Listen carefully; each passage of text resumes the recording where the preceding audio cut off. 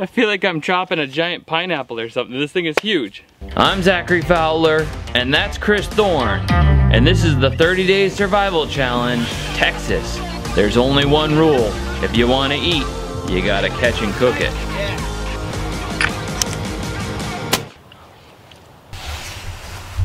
Uh, 5.30. I don't want to get out of bed, but nobody's ever gotten a deer or got a turkey while staying in bed, sleeping. Here we go.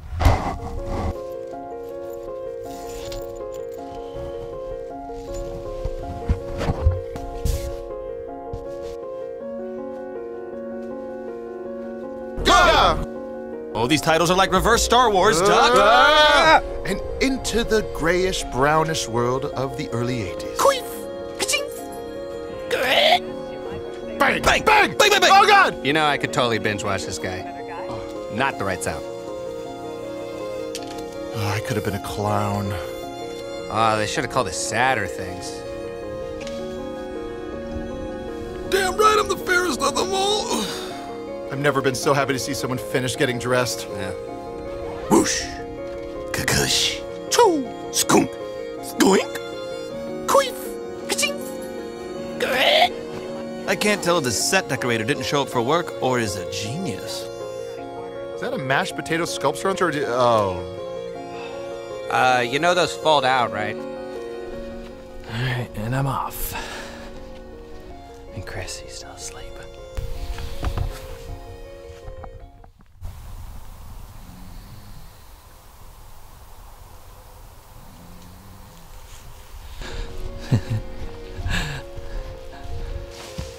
Alright, time to lock and load. This thing comes with a reloader for the arrows, but the butt of the knife works just fine. Scoop on. Good to go.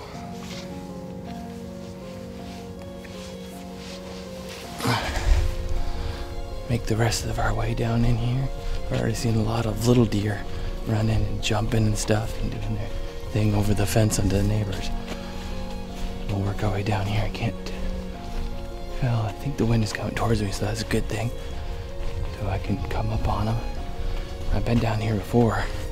The air rifle showed up one morning to do some early morning fishing, and sure enough, I came right face to face with a buck, like 30 feet away. Just stood there and stared at me because the wind was coming at me, and he just looking at me, trying to figure out what I was.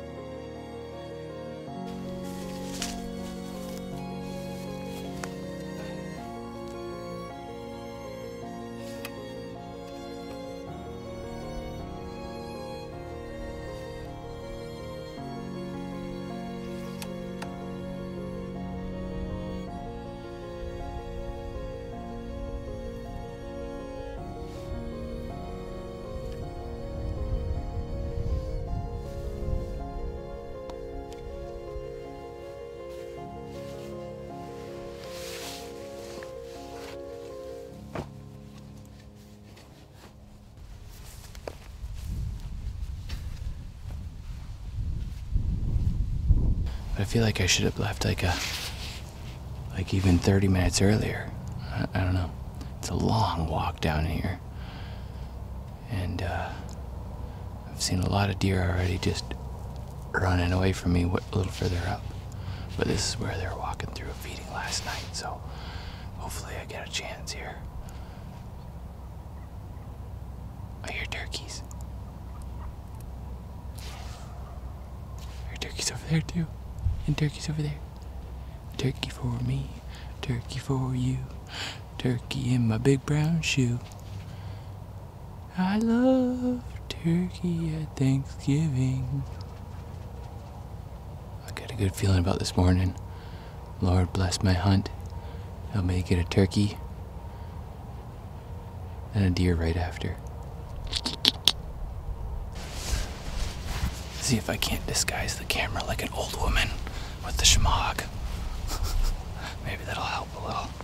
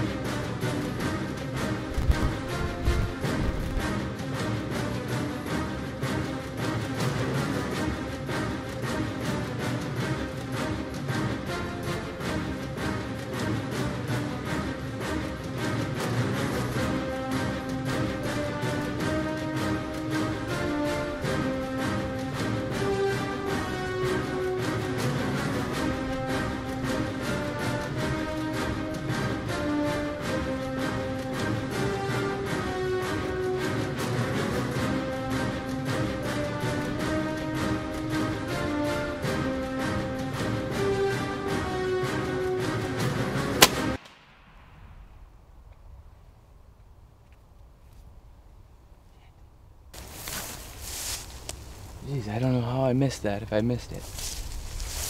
Over here, but that looked like it ran off pretty easily. Like I didn't even wing it.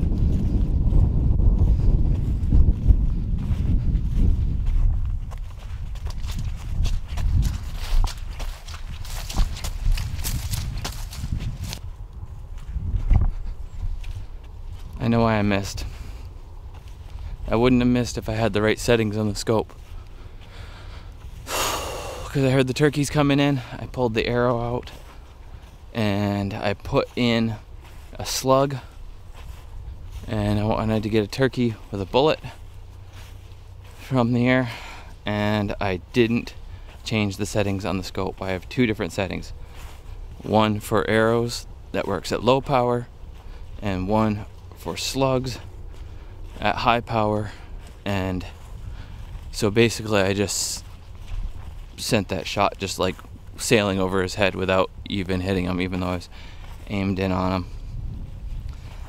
Ah, that's frustrating. That's frustrating. I finally get a chance at a turkey. It's not over yet, though. It's all an opportunity to learn. It's like the whole recording things and filming all this stuff all the time.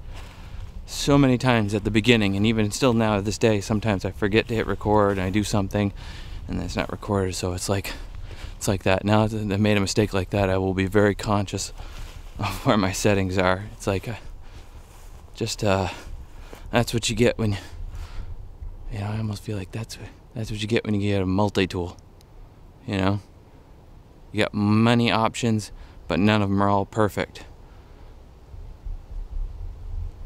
It's better to have one tool that does one thing really well than a really cool tool that does multiple things more often than not. We'll get this figured out. I'll get my turkey, get my deer.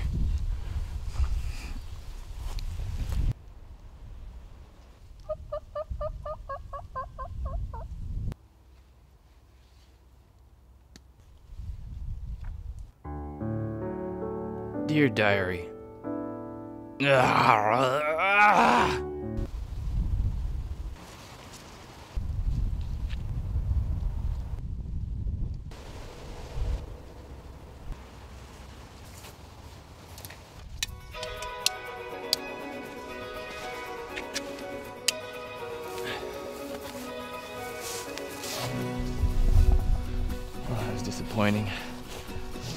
I missed that. I'm gonna go check on the fissuation, see if I'm doing any better there.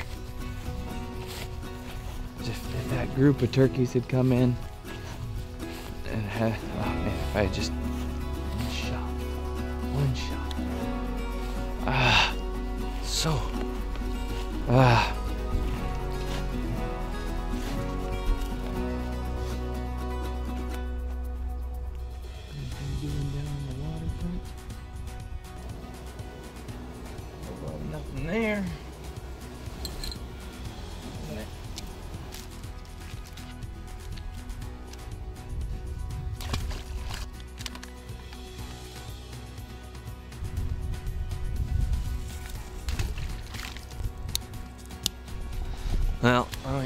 Camp, get myself a cup of ever stew.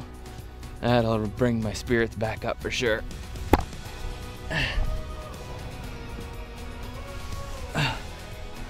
Best part of waking up is raccoon soup in your cup.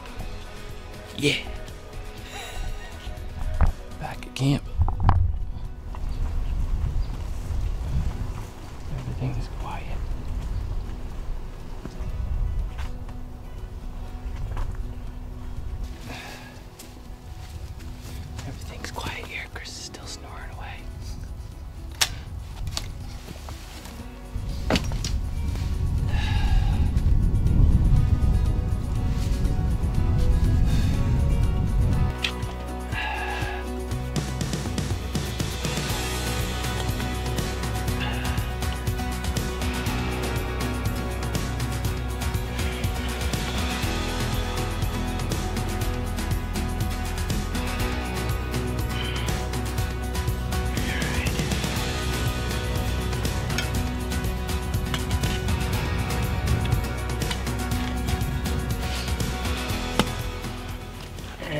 We go. I just piled up the coals, put some new stuff on top. Good to go. Alright, this is taking too long. We got some of that rendered fat from last night's raccoon and we're frying up the crawdads and stuff in. This will get her going.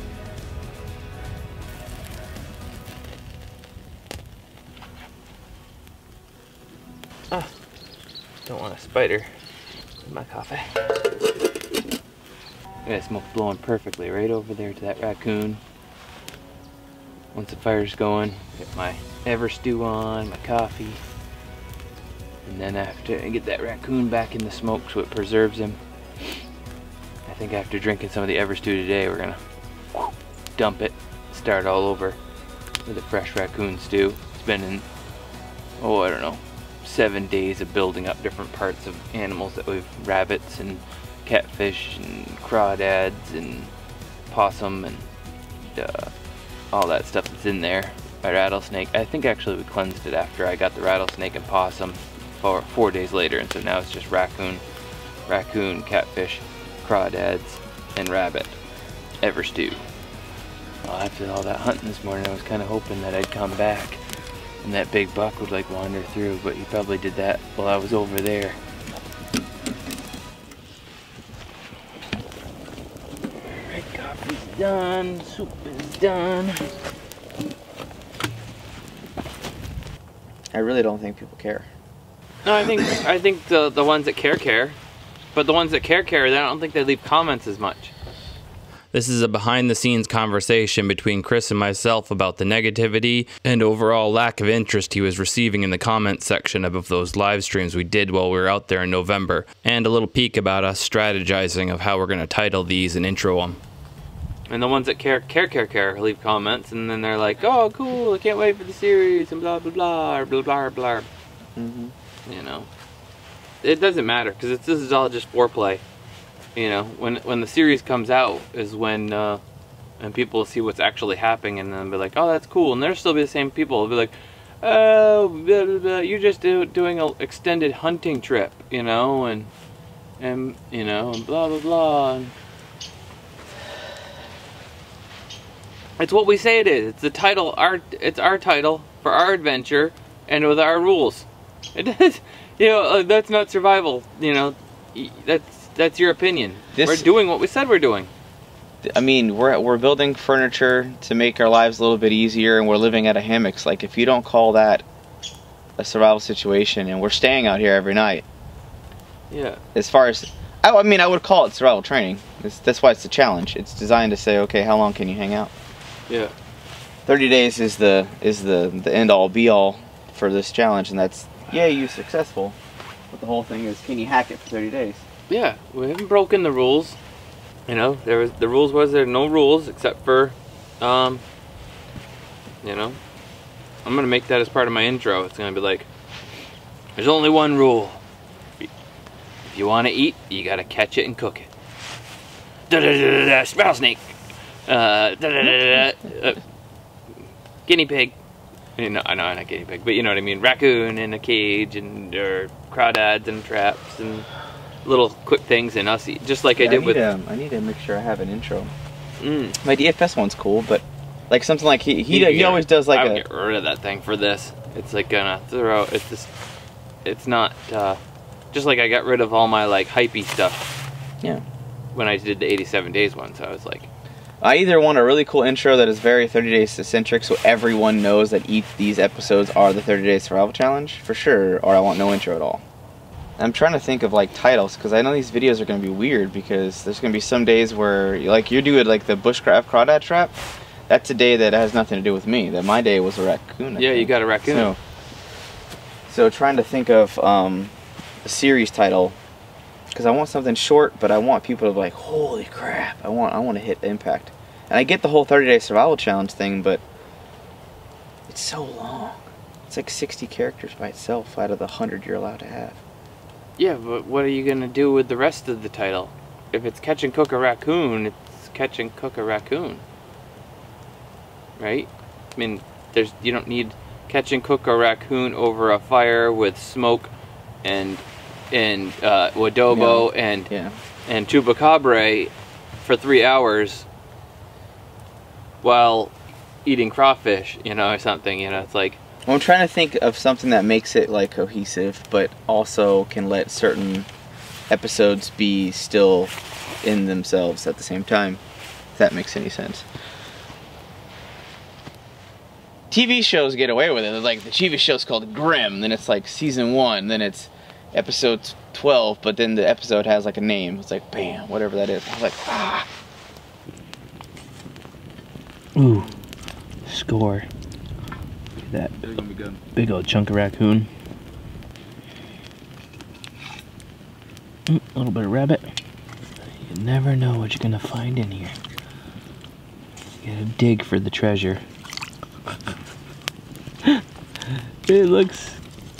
It doesn't look exactly appetizing, maybe, to some of you, but uh, this is uh, full of life giving energy right here.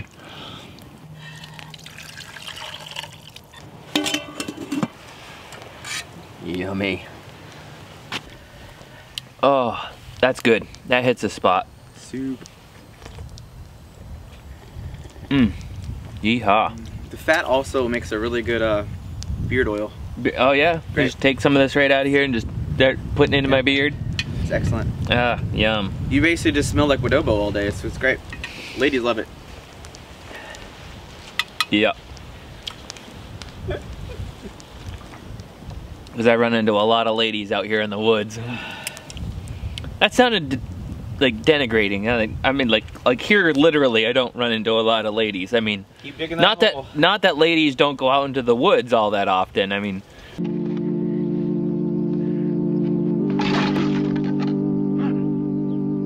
It'll be a lot easier with that. They do, but I just smell the tears of all the people Like- that are burying you right now. Survival Lilly, she goes out into the woods. I mean, hey, look at that. And we just found some treasure. What do we find? Tell them what we won. Oh, this is the most amazing plant in all of Texas. Let's sneak up on the wild agave before it, before, just in case it doesn't get startled. If it's startled, it'll run off. What do you think? You, you know about these? I do. I do know a few things about these. So, these are the um, wild agave. They are native to Texas. There are several different species out there. And as large as this plant looks, this is actually only a couple years old. These have a lifespan of about seven to eight years and they get much, much, much bigger. Now, what makes these so special is yes, for anybody who's a uh, liquor connoisseur out there does know that a blue agave is what is made to make tequila. However, in a survival situation, you find a really big one of these, I'm talking about two or three times as big, just a big massive plant. You can actually harvest these by stripping off off the leaves. Think like an artichoke heart. And that's basically what you've got. You've got a desert artichoke, as, as it were. It has a lot of complex carbohydrates, lots of sugars, and a boatload of calories. Let's do it. Yeah. Let's do it. All right. I think this one's the biggest. Let's snag that one. Yes. That one's pretty That is- big. yeah, that, this is a really good size. Ow, that is sharp. Oh yeah, their, their needles are incredibly sharp, and it's kind of tricky, but the calorie return we're gonna get on this is gonna be pretty substantial. How sharp that is. Oh yeah, you could definitely make some needle points out of that for sure. Even though we harvest this big main one, it always goes through and replicates itself and grows its own, basically its children. I think I should have brought a bigger shovel. I was like, I wasn't planning on harvesting. gloves, a big shovel, you should be good to go. We just uh, knock the horns off it and then we toss it in the fire. Basically. But it takes a long time to roast. what do you think? Ch chut the, uh, just hack them off? Yeah, just hack them off. You basically are keeping the heart underground, Oh, it's all the way underground? mostly. Nice. So, they're very fibery, and you see that needle at the end. I've been told too that if you play your cards right, you got those fibery strands and they stay attached right to the needle. If you keep working it down, you can stop and you have several fibery strands attached right to your sewing needle and you can stitch with it. That's kind of neat. Yep, it's natural needle and thread built into a plant naturally. It's pretty cool. Yeah. You definitely want to look for the straighter needles, but yeah. Wow. Yeah.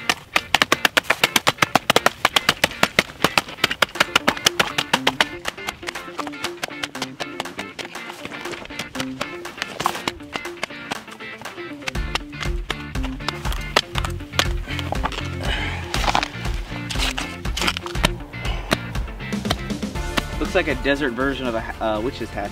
Ah, Like It's really, like- it's like- a really ugly pineapple. like Dumbledore's cap. Yeah. yep. It's free. There. All right. I got my dinner. What are you gonna get? I take this back to camp. I'm gonna start wearing them like this. It's gonna be all the rage in Paris. You watch. Six months from now, everybody's gonna be doing it. So fancy. He's talking, I'm gonna go and. Oh.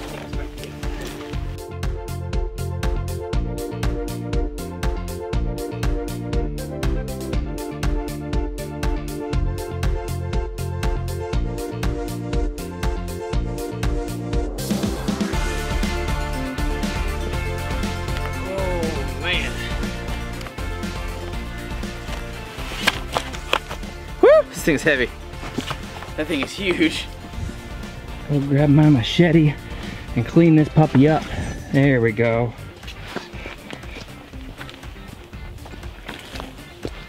All right, so what do I gotta do to trim this up without ruining my table?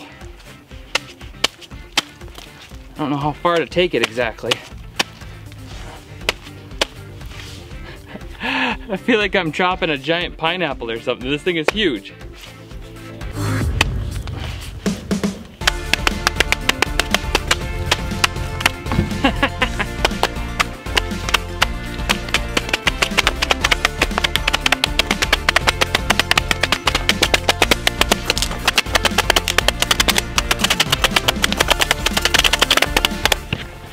This is one of those uh, hold my uh, Hold my beer moments. and hold.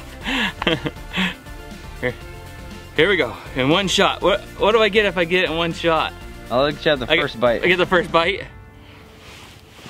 Oh, that was easier than I thought it was.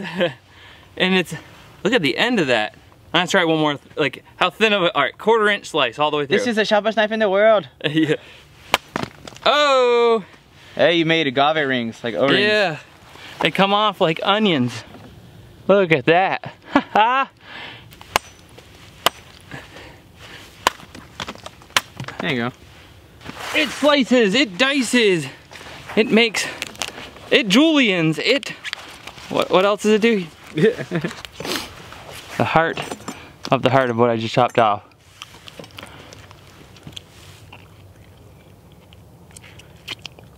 Doesn't taste sweet. Nope. It just tastes like a, That's why we have to cook it. That's what brings it out.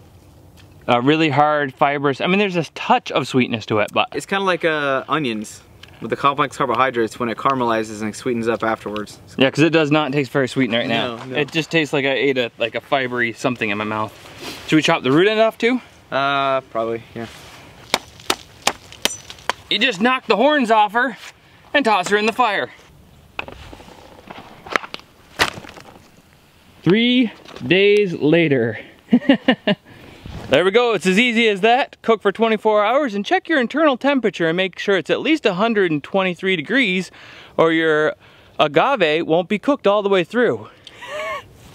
oh, look at all the carnage. That poor thing. Oh. All right, here we go. Off on another evening adventure of hunt. Tried to do a gopher trap. I just couldn't wrap my mind around something I thought that would work, so I just I scrapped it and decided maybe I'll come back to that. Let's see if we can't get out there, get in position, and get myself a deer or a turkey.